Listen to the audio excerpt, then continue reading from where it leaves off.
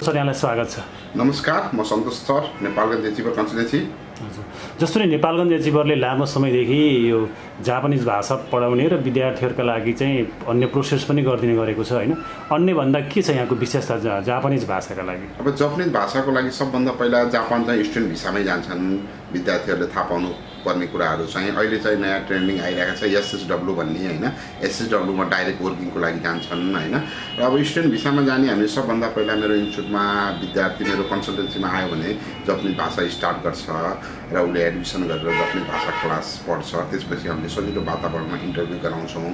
Interview गराइरहेपछि document पनि easily तरिकाले विद्यार्थीहरूलाई सजिलो वातावरणमा डकुमेन्टको प्रोसेस पनि गरिदिन्छौँ अनि सिओई आउँछ सिओई आएपछि मात्र विद्यार्थीले फी पेमेन्ट गर्छ होइन र त्यसको लागि सबभन्दा सजिलो एकदम इजी वातावरणले मा विद्यार्थीहरूलाई टेन्सन नदिकन हामीले जापान पठाउने काम गरिरहेको छौँ स्टुडेन्ट भिसामा खर्च कति आउँछ सुरुदेखि यदि जानु पऱ्यो भने जाँदासम्मको चाहिँ के यो काम र पढाइ दुइटैको खर्च चाहिँ अब स्टुडेन्ट भिसामा जाँदा एराउन्ड दस लाखको हाराहारीमा कलेजको फी हुन्छ।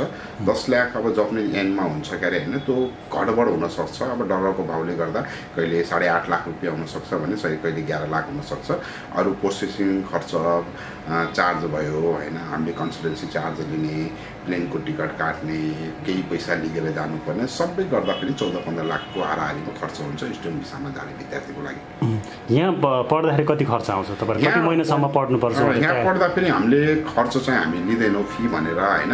यो चाहिँ डकुमेन्टेसन चार्ज लिन्छौँ हामी पैँतालिस हजार रुपियाँ टोटल्ली होइन? विद्यार्थीहरूले अब आफै डकुमेन्टेसन बनाउँछु भने चाहिँ अब पैसा दिने कुरा भएन होइन? अब ब्याङ्कको स्टेटमेन्टदेखि लिएर सबै कुराहरू बनाउनु पर्ने हुन्छ। विद्यार्थीले अब आफै गराउँछ भने लिँदैनौँ होइन? हाम्रो लगभग ले म्याक्सिमम् खर्च पैँतालिस हजारको हाराहारीमा हुन्छ। जस्तो नि यहाँ नेपालगञ्ज एचिभरमा पढेपछि खास विद्यार्थीका लागि मात्रै बढी फोकस हुन्छ कि यहाँहरूले जब र पढाइ दुइटै हो यहाँहरूले? यो के छ भने जापानको एउटा नयाँ सिस्टम के छ भने जापानको आफ्नो सिस्टम छ। उसले स्टुडेन्ट भिसा मात्रै नबोलाएर स्टुडेन्ट भिसामा सर्ट टर्म कामदारको लागि कामदार पनि बोलाउने सिस्टम हो। कलेजले एउटा काम खोजिदिन्छ होइन? अब एउटा काम चार घन्टा गरे बापत एराउन्ड होइन? लगभग अस्सी हजारदेखि एक लाख बिस हजारसम्म उसले मन्थली इन्कम हुन्छ होइन? उसले दुइटा तिनवटा काम गर्नुपर्ने हुन्छ होइन? उसको अब डिपेन्डेड बाई के हुन्छ? उसको ल्याङ्ग्वेज नै डिपेन्ड पर्छ। जापाने जापान जाने भए जापानिज ल्याङ्ग्वेज राम्रो नगरिकन त्यहाँ काम पाउन गाह्रो हुन्छ। राम्रो जति ल्याङ्ग्वेज राम्रो हुँदै जान्छ उसले काम राम्रो पाउँदै जान्छ। जस्तो जापान जानलाई पहिलो भिसा लागिसकेपछि एकचोटिलाई मात्रै हुन्छ कि? त्यो पढिसकेपछि पनि पछि जबको लागि पनि हुन्छ? कसो सुरु भिसा के छ भने पहिला चाहिँ अब यहाँ जस्तो के हुन्छ विद्यार्थी धेरै जस्तो विद्यार्थी प्लस टू गरेका विद्यार्थी हुन्छन्।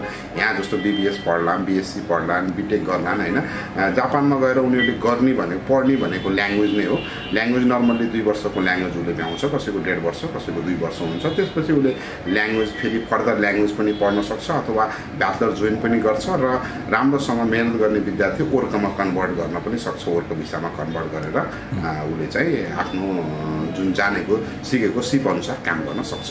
जस्तो अलिकति अब यो खर्चको कुरा पनि हुन्छ। सामान्य परिवारको व्यक्ति अथवा अलि न्यून स्तरको व्यक्ति पनि जान सक्छ कि जापान कस्तो छ? खर्च जान चाहिँ अब सक्छ अब त्यसमा त्यति धेरै गाह्रो छैन जापानको होइन? भिसा आएपछि मात्रै पैसा लाग्ने सिओए आएपछि मात्रै कलेजको फी डिपोजिट गर्ने भएको हुनाले होइन? अब उसले उसलाई टाइम पनि हुन्छ दुई ढाई महिनाको होइन? उसले अब केही तरिकाले व्यवस्था गरेर जान सक्छ ब्याङ्कले लोन दिइराखेको हुन्छ होइन? चाहिँ उसले प्रोसेस गरेर जान सक्छ। जस्तो नेपालगञ्ज एचिभरबाट विद्यार्थीहरू गएको छन् यहाँहरू पढ्यो यहाँ यहाँहरूकोमा भाषा पढेर के छ?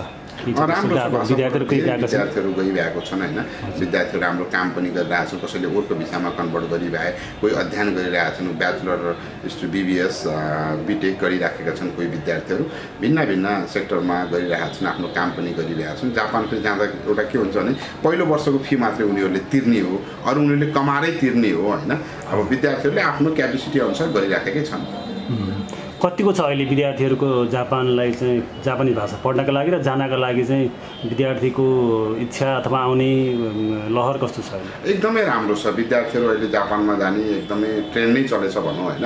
एकदम राम्रो तरिकाले विद्यार्थी गइरहेका छन्। अन्य देशभन्दा सजिलो पनि हो? सजिलो एकदमै सजिलो अन्य देशभन्दा। अलिकति प्रोसेसिङ टाइम चाहिँ लामो हुन्छ तर अन्य देश अन्य देशको जस्तो धेरै झन्झटिलो प्रोसेस हुँदैन। सन्तोष सर पढाइको कुरा त हामीले गऱ्यौँ पढ्न जानको लागि होइन। वर्किङ भिसामा पनि जापान जान सकिन्छ होला। के छ त्यसको प्रावधान एकदम? सकिन्छ। अहिले नेपाल सरकार र कोरि के अरे जापानिज सरकारको बिचमा सम्झौता भएको छ होइन? जसलाई एसएसडब्लु भन्छ स्पेसिफाइड स्किल वर्कर भन्छ। यसको लागि विद्यार्थीहरूले एन फोर लेभलको जापानिज भाषा पास गर्नु परेर सम्बन्धित विषयमा ऊ जान चाहेको सेक्टरमा जस्तै जस्तै तपाईँको कुक होला होइन? वेटर होला केयरटेकर होला फुड प्याकेजिङ होला यो सम्बन्धित विषयमा उसले सिपको पनि परीक्षा पास गर्नु पर्यो र जापानिज भाषा पनि पास गर्नु पर्यो। यो सम्पूर्ण कामहरू मेन पावरलाई दिएको छ सरकारले होइन?